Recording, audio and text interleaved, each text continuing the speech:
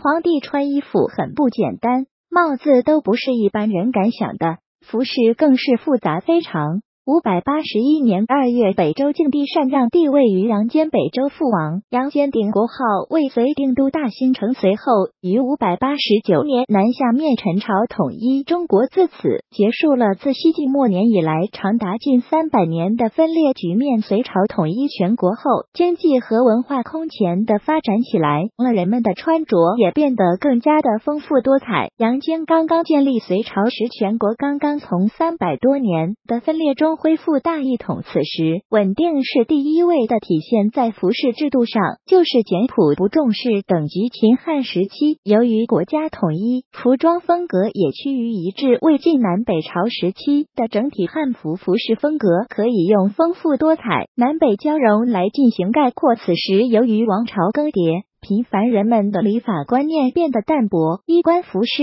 也发生了显著变化，是我国古代服饰的大变动时期。而到隋朝的杨广时期，国家的经济有所回暖，威严等级的重要性有所提高，服饰制度也就逐渐的确定了下来。服饰颜色自古以来就是区分人们身份。的重要标志，隋朝也不例外。朝服以红绿为主，士兵以黄色为主，商贩大多使用皂色，小利用青色。没有地位的平民百姓多穿白色。朝服中等级不同，颜色也略有区别，只有五品及以上的官员才可以用紫色。除了颜色以外，冕服作为中央集权社会的标志之一，也体现出了其等级的不同。隋炀帝采用了十二文章。的制式，也就是十二种纹样，分别是肩膀上日纹、月纹，背部有星辰纹，上衣有山纹、火纹、华虫纹、火纹和宗仪纹，身长上有枣纹、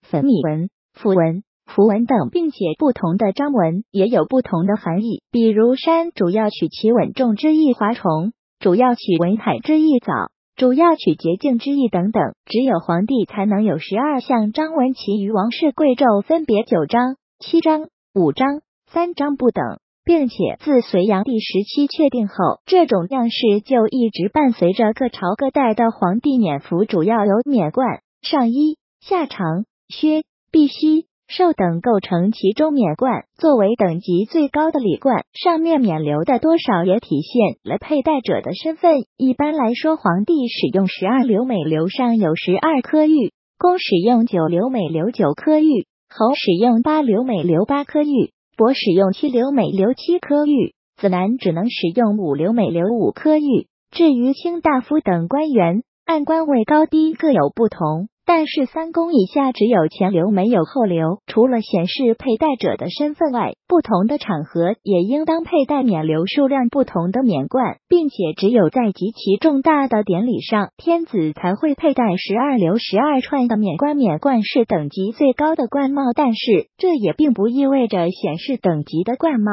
只有冕冠一种，礼冠的形式还有很多的。这一点在隋炀帝身上体现的更加明显，这是因为隋炀帝跟隋文帝相比，对于自身的威严更加注重，这对于服饰的华丽程度也更加注重。因此，隋文帝出行只佩戴乌纱帽，隋炀帝出行时却要特别注重搭配不同的场合、不同的地点，搭配通天冠、远游冠、皮鞭等通天冠。的等级仅在冕冠之下，因为它的形状像山巍峨突出，所以得名通天冠。隋炀帝所戴的通天冠跟秦汉时的通天冠类似，但是上面还有比帽梁更高的前臂，也就是金箔山，上面还有蝉纹等花纹。皮鞭上也有珠子作为装饰，与冕旒相似。珠子的多少也显示了佩戴者的身份高低。天子皮鞭独一档有十二颗珠子。其余官员因为等级的不同，珠子的多少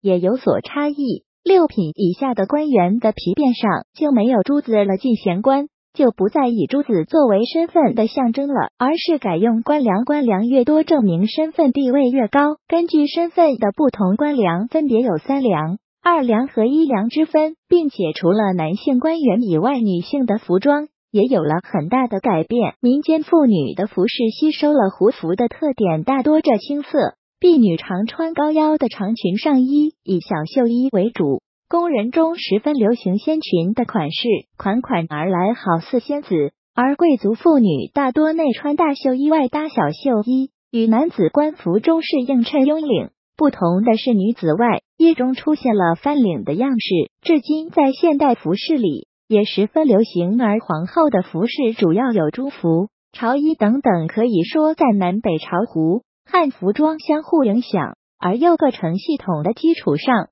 产生的隋朝的服制也出现了法服与常服并行的局面。作为大礼服的法服仍是传统的冠冕衣常，然而常服则是在鲜卑装的基础上改进而成。可以说，自从隋炀帝继位以来，隋朝的服饰。更好的继承了南北朝的特点，又产生了许多新的变化和发展。虽然隋炀帝对服饰制度的发展做出了贡献，但是他奢靡的作风仍然不为后人所接受。参考资料：中国古代的服饰特点，魏晋南北朝服饰